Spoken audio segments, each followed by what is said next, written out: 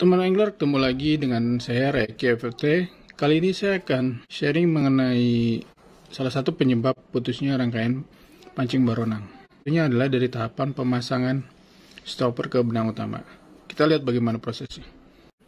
Oke, kita mulai dengan proses awal di mana kita membuat rangkaian pancing garung. Saya kali ini menggunakan benang diameter 0,26. Biasanya akan dibuatkan uh, semacam simpul ya. Buat rangkaian baronangnya di garong buat rangkaian garongnya. Kalau saya contohkan yang sederhana. Nah kita tutup seperti ini. Nah ini jadi ada semacam loop ya. Buat nanti kita masukin uh, stoppernya. Nah untuk pemilihan stopper ini ada ukuran L sama ada ukuran LL.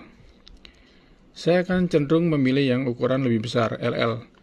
Dalam artian karena dia akan lebih besar lubangnya ya, sehingga tidak uh, terlalu menekan ke kenur utama kita. Saya pakai ukuran LL. Kita masukkan benang ke stopper.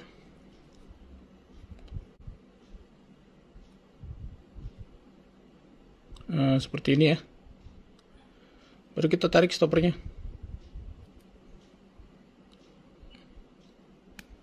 nah ini akan masuk ke dalam loop yang tadi ya. Biasanya setelah kita memasang stopper ini kita akan memasukkan kel garongnya ke dalam loop ini.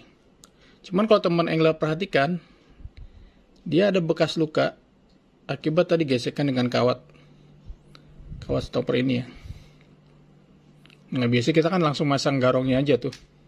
Kita ambil garongnya. Ini rangkaian yang udah jadi. Kita masukkan benangnya ke dalam garong.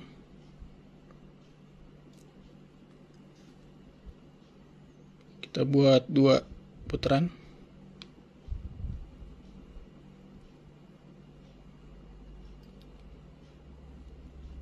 Lalu kita tarik.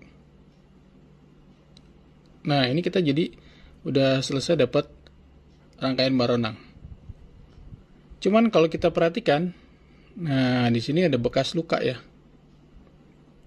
Bekas luka dari bekas kawat ini tadi. Jadi dia membekas nih di benang ini, di kenur ini. Ini yang nanti salah satunya jadi penyebab putus ketika kita fight dengan baronang. Nah, untuk meminimalisir resiko ini, maka saya lihat dari artikel di Visi Forum beberapa tahun yang lalu, dia menggunakan cara seperti ini. Kita ambil eh, PE yang ukuran cukup besar, kita ikat simpul,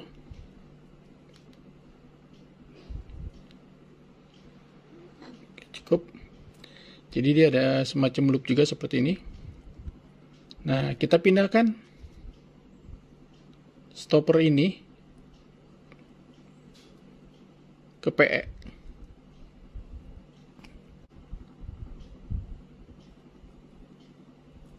Kita masukkan, jadi kita pindahkan dulu.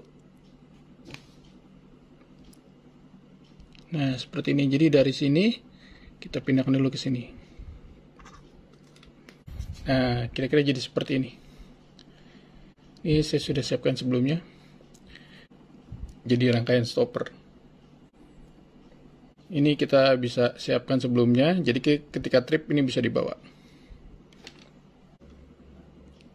Nah, baru kita masukkan stoppernya dari yang P yang udah kita siapkan.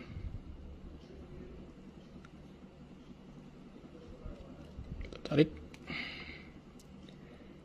Nah, ini memang sama ada ada luka juga, cuman dia tidak se parah ketika dia menggunakan kawat. Setelah jadi simpul seperti ini, rangkaian seperti ini, baru kita masukkan garongnya ya. Oke, kita masukkan benangnya ke mata garong. Kita buat dua lingkaran.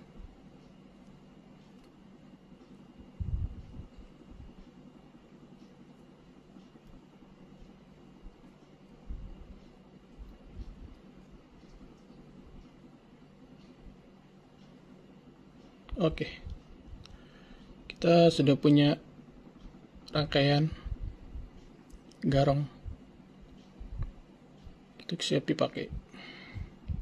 Ini yang tadi menggunakan kawat, kelihatan jelas ya ininya, gasnya. Jadi kita memindahkan dari stoppernya, dari stopper yang ini kita ke sini, baru kita masukkan ke rangkaian garong. Ya, demikian sharing dari saya. Semoga bermanfaat buat teman angler sekalian dan membantu dalam proses mancing baronang. Jangan lupa subscribe, like, and share di channel saya Ray Aki FFT, My Fishing Journey. Sampai jumpa di video saya berikutnya.